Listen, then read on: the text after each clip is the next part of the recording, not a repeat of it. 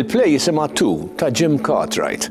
Hija maħduma minn żewġ atturi biss. Dawn l-atturi huma jiena u Pia Zammit. U dawn huma koppja li għandhom pub.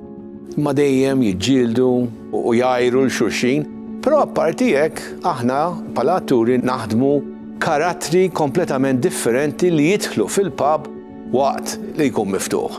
Għandu jkun hemm xi għoxrin jew iktar karattru li aħna bejnietna naħdmu. Hija play interessanti ħafna, bl-Ingliż jgħidlu don't judge a book by its cover, jiġifieri jekk tara tnejn qed jargumentaw jew xi ħadd qisu għandu problema, Importanti illi nkunu nafu li hemm storja warajha dik il-problema, forsi ma nifhmuhiex aħna, ġifieri ma nistgħux dejjem niġġudikaw dawn in-nies.